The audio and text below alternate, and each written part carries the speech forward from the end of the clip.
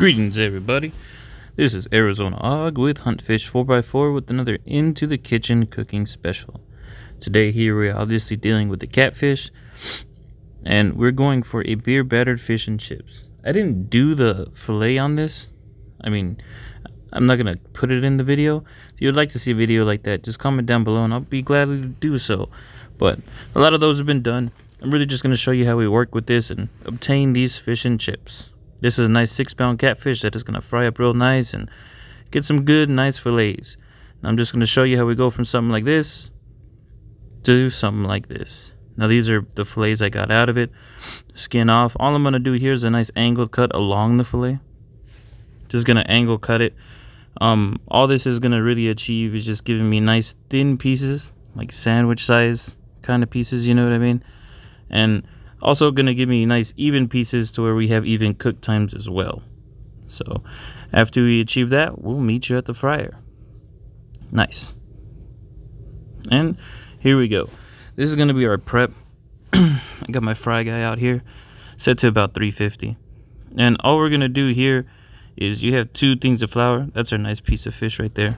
As you notice, I have it on a plate with some paper towels. This is going to get the fish nice and dry, gets the skin real tacky so it adheres to our batter very well.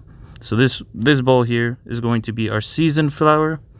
To this one, we are going to be adding um, salt, pepper, and some Old Bay. Real simple, just three simple sauces, uh, seasonings. Make sure you put a thorough amount this is going to be like the flavor of it. The batter will give it some flavor, but this is where most of your seasonings are going to come from. Next, this one will be our batter. So we're going to have one that we're going to coat it in first, and then we'll dip it into our batter. It's also just going to help to make sure we have no bald spots. So again, this one's simple. Old Bay, I use some chili powder, some chili flakes just for a little added spice. The chili powder is really just to add like a color, like a darker brown to the the end product. It gives it a nice golden brown look to it when it's fried. Now we add our beer. I use Dos Equis. You can use whatever beer you fancy. That's just what I had available to me at the time. And again, just add little by little. You don't want to overdo it. You don't want this too runny. Um, you don't want it too thick either. We're shooting for something like a pancake dough. So maybe just a little slight bit thicker than a pancake dough but that's kind of what we want to obtain. So just again, little by little, don't overdo it. Take your time. And yeah, don't rush perfection. So I think we about achieved it. I'll show you right now just the way it falls off. Again, pancake dough, maybe just a little, well, pancake batter, just a little bit thicker, baby. But not too runny, not too thick. Something that's just going to give a nice good coat on it.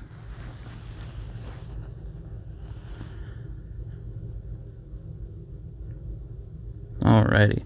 Now that we've achieved our batter and we've achieved our seasoned flour, we're going to get our nice dry piece of catfish here. Coat it thoroughly in our seasoned flour. Make sure there's no bald spots. This is just going to also help our batter, our beer batter, like stick to it a lot better. Now, like to use a fork. I'd refrain from using your finger because you'll tend to leave like a bald spot on it. But after you get a good coat, make sure you drip off a lot of the excess. You don't want it too caked on there. And then, well, you're ready for the fryer. So it is going to want to drop to the bottom. So just make sure you're giving a good couple shakes on the fryer. You know, make sure it's not sticking to the bottom. Once it starts floating to the top, it's usually a good telltale sign it's done. And well, that's what you're left with. A nice golden brown cook with nice white flaky meat on the inside. I'll give you guys a look here. Wow. Exactly what we're shooting for, exactly what we're going for. Beer battered catfish. Now this is a, here I'm going to show you a sauce I like to use. This is a, like a seafood sauce. It's what I garnish a lot of my stuff with. You got tartar sauce, hey, use it. I'm not a, too fond of tartar sauce. I'm not too opposed to it either. But this is usually something I whip up, you know, garnish my seafood tacos, shrimp tacos, and in this case, well, catfish. Beer battered catfish fish and chips. So, got mayonnaise through a little bit of Old Bay. a lot of lemon juice. I like it really, really runny. For a small bowl like that, use about half a lemon worth of juice. I didn't do it on camera, but I do like to hit it hard with a couple shots of hot sauce. And again, don't like to be wasteful. Um, I'm gonna coat the fries here in some batter as well. All we're gonna do is thin out that pancake batter. Well, our beer batter, but instead of thinking pancake batter with that, you want to think crepes. You want to make it real nice and light.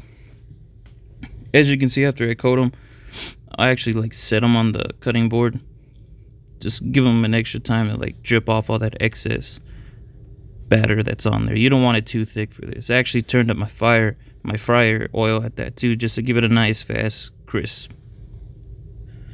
But once we're all done with that, into the basket, and well, once these are done, we'll be meeting you at the plate. Thank you. Alrighty, and now we are left here with our end product. Nice, healthy plate, healthy servings of some nice fish and chips. Nice golden crispy meat, flaky fish on the inside, just delicious. A nice homemade sauce to garnish all this stuff. And just wow, real good. Like I'm saying, keep it simple. It's not too difficult, not too intricate. Mm. Very delicious. Yeah, keep it simple. Really good. Even coated our french fries here in the beer batter just to get rid of it. Squirt some lemon all over this.